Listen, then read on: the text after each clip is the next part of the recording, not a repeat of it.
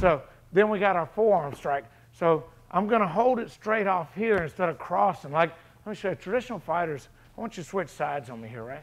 Quick announcement I've got some brutal fight ending moves that YouTube won't allow on their platform. They're pretty ugly, but you're going to want to know these. It's yours for free from the link in the description below. Okay, back to our video. All right. Traditional fighters will say right hand to left hand. Just show what traditional guys do. They'll punch across, and they'll punch across. Guys, I don't want you punching across. See how he says? Push him off balance. I don't want you to. I want you to punch straight. So when he blocks here, he's shooting straight through here. Oh, right? That can hurt. All right, so he blocks and shoots. Boom. Got it? That's the way it's got to work. Got to push through. Really got to make this hurt. So then you can relax a little bit and just practice. Right now, all I want Roger to do is just practice defense. Block him, block him, block, block both sides. Roger, switch. Good, good time. Okay, just block, block, good. Block. I'm having to slide. He's forcing me to slide because he's doing this right. Okay? I want you to really pay attention to that segment.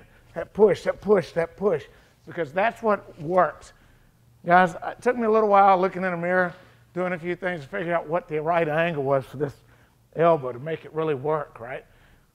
And I want your elbow to be flat, parallel to the ground, so it doesn't move in funny directions. And for me, if I just lay my hand right here on the side, of, just below my head, side of my neck.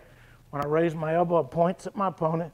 And here, remember in the beginning when I told you, don't let them get lower than you. Don't let them get, don't let them get lower than you. So he's lower than me. I don't want to point down. I'm just going to spread my feet a little more, bend my legs, and get right here where I need to be. And then when I need to push, boom, I'm going to push straight through, right? We're going to pop and push. And if you need to throw something else in the mix, we're going to do that too. Hey, I hope you learned something from this video. Remember to click on the link in the description to get access to those free lethal fight ending video lessons before it's too late.